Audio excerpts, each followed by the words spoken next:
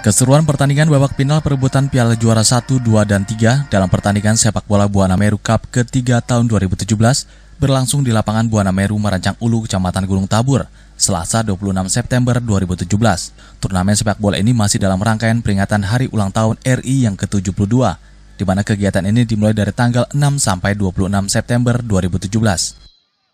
Sebanyak 38 klub sepak bola Kecamatan Tanjung Redep ikut serta dalam kompetisi kali ini. Dalam babak final ini, lapangan dipadati penonton yang bukan hanya dari kampung Marancang Ulu, melainkan masyarakat kampung-kampung terdekat dari Marancang Ulu. Turut hadir dalam acara ini Kepala Kampung Marancang Ulu, Babin Kamtipmas, Babinsa, pengurus PSSI Kabupaten Berau, tokoh masyarakat, serta para tamu undangan. Dalam babak final perebutan juara 1 dan 2, berhadapan Bangun FC melawan Jawa Indah FC, di mana diketahui Bangun FC membawa 22 orang pemain asli Putra Bangun dan Jawa Indah FC membawa sebanyak 18 orang pemain. Pertandingan final kali ini diperoleh skor akhir yaitu 2-0 untuk Jawa Indah FC. Kedua gol diciptakan pada babak kedua dalam pertandingan tersebut, di mana gol pertama diciptakan dari gol penalti dikarenakan pemain Bangun FC menjatuhkan lawannya di garis 16, sehingga wasit menjatuhkan sanksi penalti.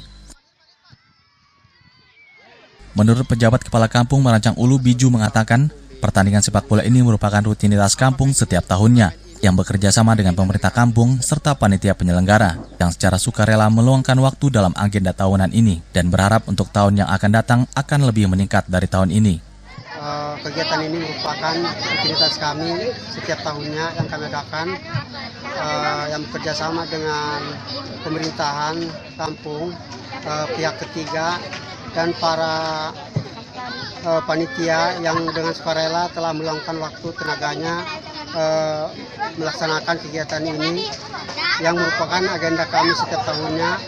Mudah-mudahan nantinya setiap tahunnya nantinya kami dapat melaksanakan uh, acara ini uh, mungkin dapat meningkatkan dari yang sekarang mungkin nantinya dapat lebih meningkat lagi. Dan kami juga berterima kasih kepada Askap Kabupaten Berau yang telah sudi ke kampung kami yang telah membina kami uh, masalah perwasitan.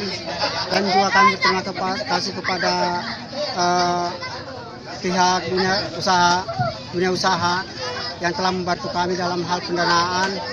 Dan juga kami terima kasih kepada uh, Kapolsek serta dan Ramil di Gunung Tabur yang telah membantu kami dalam penyelenggaraan acara ini yang diikuti 38 tim dari masing-masing kampung uh, yang hingga akhirnya menghasilkan juara uh, pada hari ini.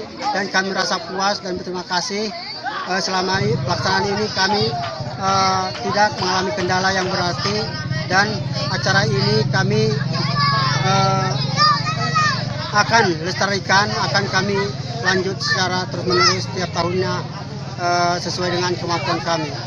Sementara itu, salah satu perwakilan pengurus PSSI Kabupaten Berau Endin mengungkapkan pada prinsipnya ini merupakan pembinaan dan harus disambut dengan baik dari masing-masing kampung yang telah memudayakan olahraga sepak bola yang mana nantinya akan dikais oleh askap para pemainnya. Pada prinsipnya ini merupakan pembinaan harus kita sambut baik daripada masing-masing kampung yang telah membudayakan olahraga sepak bola khususnya di kecamatan yang nantinya akan dikais oleh uh, askap itu sendiri para pemainnya.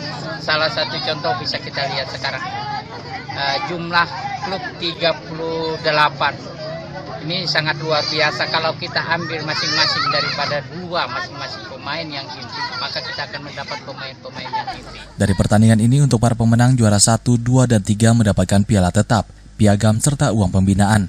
Juara 4 mendapatkan piala dan uang pembinaan, pemain terbaik mendapatkan piagam dan uang pembinaan, Pencetak gol terbaik mendapatkan piagam dan uang pembinaan. Diharapkan dengan kegiatan ini dapat membuahkan bibit-bibit pemain lokal yang berprestasi. Tim Liputan Profesion TV melaporkan.